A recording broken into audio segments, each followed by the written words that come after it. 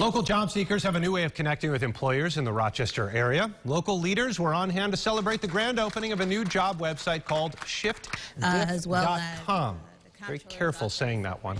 The search engine simplifies the job search process and makes it easier for applicants to find openings they might not have known existed otherwise. Amaret Miller, one of the owners of the website, described how it works.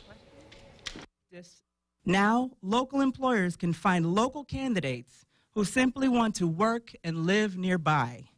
Job seekers on ShiftDiff can upload their resume and create a free profile.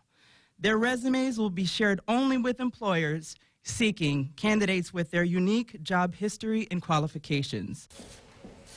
Miller says the website was named Shift Diff as a tribute to the working men and women who protect the public and keep our streets, buildings, and highways clean, beautiful, and safe.